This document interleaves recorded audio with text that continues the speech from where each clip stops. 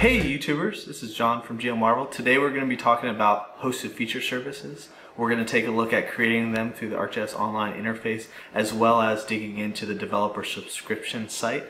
Uh, hope you enjoy. So first thing you want to do is you want to log in to ArcGIS Online or Enterprise. And you're going to navigate to the content page. The content page is really where you're managing your content. And uh, so you can see here I have a folder called Hosted Feature Services. And I'm going to go ahead and just find some data. So I have a uh, Washington DC boundary layer here, which I found on the ArcGIS hub system, as well as uh, I found a uh, taxi layer, um, which we're going to use as a feature service. So just got myself some data here um, that I'm gonna gonna play with, as well as I have the REST endpoint, which if you're not familiar with the ArcGIS REST systems, you should check out our our REST video and uh, you know lear learn a little bit more about here. So first area is you're going to go ahead and click the create tab. You'll see here we have a number of options for creating apps and maps and, and different things. So you're going to want to click on this uh, feature layer option. And in here you're going to see you can create feature layers from all sorts of already pre-built templates in some industry. Um, these are called uh, feature layer templates and you can see here scroll through here. So for example if you were interested in, in, in leveraging one of these pre-existing ones you go ahead and click you know select on, on one and say create. Get the opportunity to uh, rename this. So uh, in the event you don't want to call this hazard and you want to call this uh, alert layer right? So just say we're going to do a hazard alert layer next and say I want to change the extent. So really it's it's leveraging it as a template and you get to go ahead and, and kind of relabel it. So we can call this the hazard uh, alert layer. Okay. And go ahead and give, gave me some tags here. I can also specify the folder and go ahead and, and create. So that is one option for uh, creating a feature layer. The next option that I want to review is going to be building a layer uh, from scratch. So let's go ahead and go back to the content page. I'm going to go back to the create, click feature layer. And here you can do from an existing layer. So uh, these are my layers that I have in ArcGIS Online that are just mine, some you know uh, sample data sets and things that I'm, working on. So from here you can go ahead and you know click one of these and go through the same process as well, or you can go ahead and, and create one from a uh, hosted feature layer. So I have this REST endpoint here, which is my taxi uh, services. We have drop off and pickup locations. So go ahead and just copy this URL here, and I can go back and I can click paste. What this is going to do now, this has lots of data. So say you were um, a different city, you weren't DC, and you wanted to to map out your taxi drop offs and, and pickup areas. You could create this for, as a template, right? And so the, all this is doing is taking the schema of this feature service and actually going to be recreating it, right? So you'll see here, I go, go next, and just to look at the data here, you can see there's lots and lots of data in here, right, about those. When we create our feature service, it's really just going to give us the shell of the feature service. So the attributes and the, the geometry set up for it. So I'm just going to go ahead and rename these uh, to, to be something more I understand and, and say we're doing Chicago, right? So say we're going to do uh, Chicago, set our default here, and just say taxi locations new do the same thing here need to add the tags go click click done so what we're going to see here is that if we actually look at the, the feature layer that's been created, you're going to see that it has the exact schema, and the schema being all, all these attributes here in our created uh, feature layer. So you can see here, I have my two layers for the drop off and pickup. I also have the data visualization tab, and you can see here I have no attributes in it. So it's just simply created a, a blank feature service. The next thing that we want to do is look at like building a layer. So we can go ahead and click create. Uh, and there's this option here in, in the drop down that says build a layer.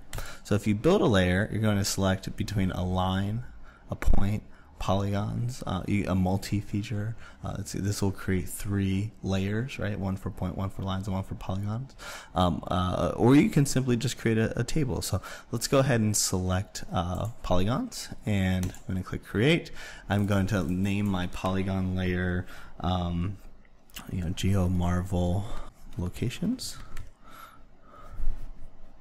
Okay, and let's just go here. We're in Washington, D.C click next and I can call this uh, my layer, GeoMarvel Locations layer. Click next. And this will do the same thing. So um, one thing that it didn't, you notice it, it didn't really ask for was the fields and what uh, attributes I wanted to include in, in that layer. And so the next thing that I really want to show you is how to, during the creation process, actually add fields and attributes. Because if you look at the data display here, you're just going to have the object ID from the ArcGIS online interface or enterprise interface. Um, if, if you have the permissions to, you'll be able to navigate to the fields icon and click add. So you can go click add here and just say location name uh, is the name and then our display name is location name right and we'll say it's a string right but we can also change it as a double or an integer uh, or, you know or any of the different data types that, that they have here.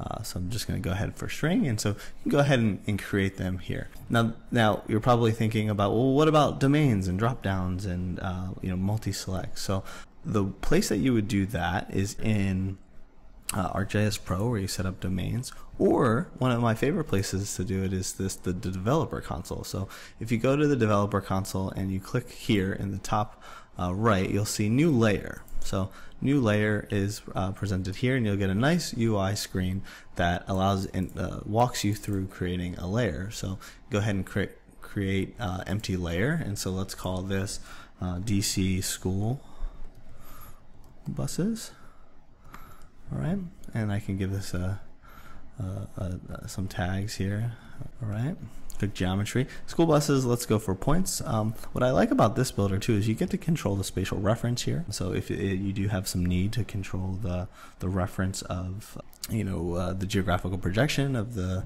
the layer that you're creating this is this is a great place to do that. You also have the this nice UI here for adding field field uh, field types. So let's go ahead and say uh, location name. Is the name. So it's saying no spaces right uh, and I'm actually gonna uh, go ahead and, and, say here I'm gonna not do a domains I'm actually gonna say uh, coded value so maybe I say we have a DC uh, office. So this will show up as like a select option in Collector or one of the mobility applications or in a web, web application, right? So we can say uh, this is a select option and um, we have domain values for uh, maybe some specified domains that we want to. So I'm going to go ahead and add to there. And then don't forget to click this add uh, field button. So you can go set here and uh, let's go for time open. So uh, maybe we put our hours of operation. Let's go for a uh, date, and then maybe we say a range, and we could say our our, our minimum range uh, is we're open. You know, uh, maybe we want to just say Monday through Friday right? Okay, so you can select between a date range. Um, moving on, you'll have uh, the ability to, to configure all of your sharing states, whether it's public or private, uh, what groups uh, it has access to, who can edit it, whether it has sync uh, capabilities. There's a lot of great configurations here. So let's go ahead and, and just create this layer. And you'll notice if we head back over to, to ArcGIS Online and I go back to my content, you're going to see that this layer ultimately uh, once it's done. Uh, uh, I'm going to click uh, open in ArcGIS Online. Will be part of my uh, content, and um, I'm able to you know visualize it and see. you can see here my attributes that I have configured, the time opened, and yeah. So that is a little bit about creating hosted feature services in ArcGIS Online. Hey, I hope you liked the video. If you like what you saw, don't forget to like and subscribe. Appreciate it. See you in the next video.